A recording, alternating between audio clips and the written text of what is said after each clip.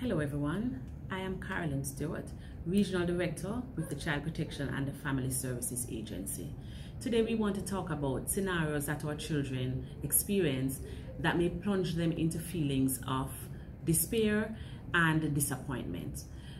The upcoming results for the primary exit profile are almost here and I want to share a few tips with you as parents as to how to deal with your children and their response to their performance in the examinations.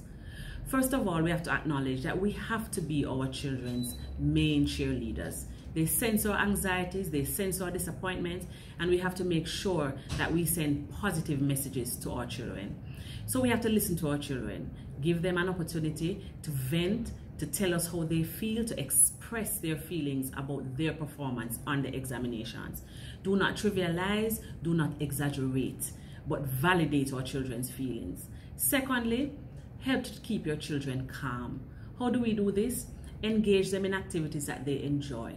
Read a story, take a trip, whatever it is that we're doing, allow them to express what, is, what it is they are feeling about their examinations. Thirdly, we have to make sure we remember that this is just one milestone in the path to the children's education.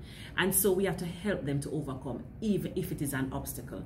So we have to help them to search for their strengths, move from a position of what they got well, and help to set goals going moving further. What's the next step? What do you do next? How do you do better the next time? Never ever ever lose faith in your children's ability to do well always encourage them. Let them know that it is okay to make a mistake but then to rise up and to do better next time